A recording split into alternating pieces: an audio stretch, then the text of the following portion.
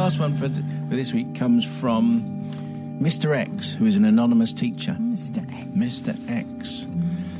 Dear Simon and the suppliers of salvation, that's you guys. I'm a secondary school teacher. It's kind of like an end of term. This is, uh, this is like an end of term confession. I think there might be some more. No, this is a bit of a shocker.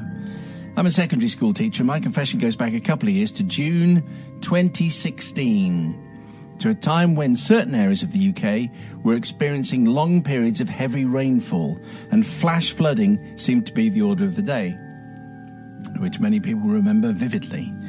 Us teachers are hard-working souls. There are lessons to meticulously plan, which then need to be delivered to up to 15 classes of different abilities and year groups. On top of this, there are exams to engage with, parents to placate, colleagues to care for, and marking to manage. And then, of course, there's Ofsted, the O word. On the particular day in question, we just had the dreaded call. Ofsted were due to visit and inspect over the next two days. Oh, great. Suddenly, the workload became unmanageable.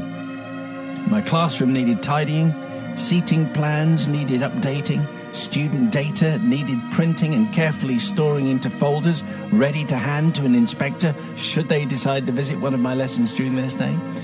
Lesson plans needed photocopying, and that huge pile of marking needed doing. How was I expected to cope? the end of the school day, after dismissing the students, I sat down to start ploughing my way through the huge pile of marking. I was never going to get through it all before the school gates were locked up for the day. I'd have to take it home with me.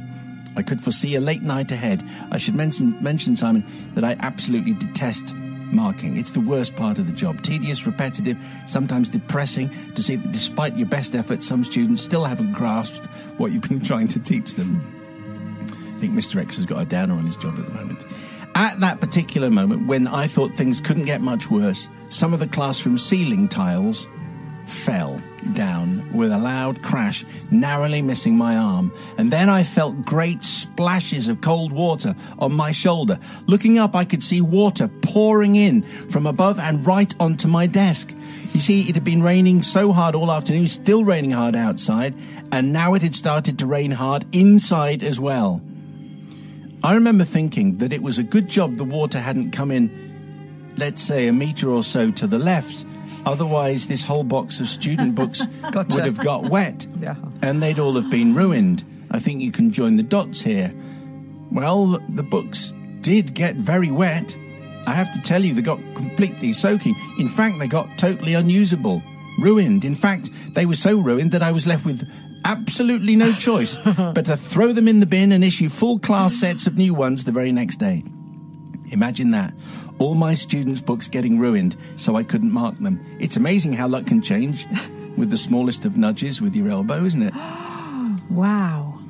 So you see, I need to ask for, for forgiveness, but not from the school. After causing a leak in that area of the ceiling, the water started to come in over the door as well. Then it ran down the walls and into the electrical sockets. Luckily, the small fire, which was started from the electrical shortage, was put out almost immediately by the floodwater itself.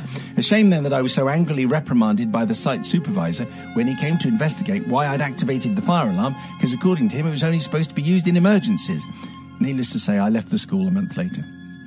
Neither do I seek forgiveness from Ofsted. They'd spent two days at my school, and despite my extremely thorough preparations, they couldn't even be bothered to observe any of my lessons. I mean. Anyway, I do, however, ask for forgiveness from the students whose work was unceremoniously soaked and then dumped in a bin for no reason other than my workload being far too heavy to mark them at the time. Although, to be fair, they don't usually use their books to do any revision for tests anyway, so I'm sure no one, no harm was done. Wow, Mr. X really, really didn't like his workload or his marking. Anyway, thank you, Mr. X. A very honest teacher confession. What do you think, Jo?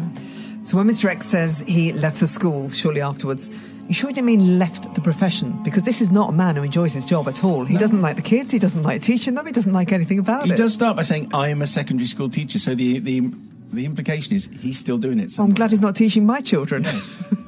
I mean, How do you know he isn't? oh no! And I said Coco was really excited about her brand new teacher. That's there you go. It's Mr. Mr. X. Oh no! And I said it was like X Factor. Blimey.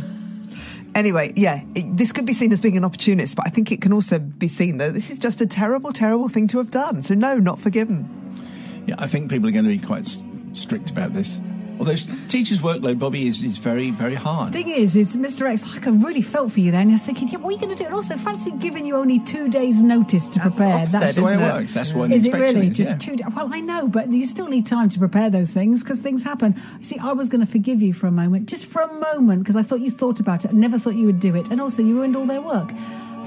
yeah, I find it. I cannot find any way to give you any salvation. That's two of us. You are unforgivable.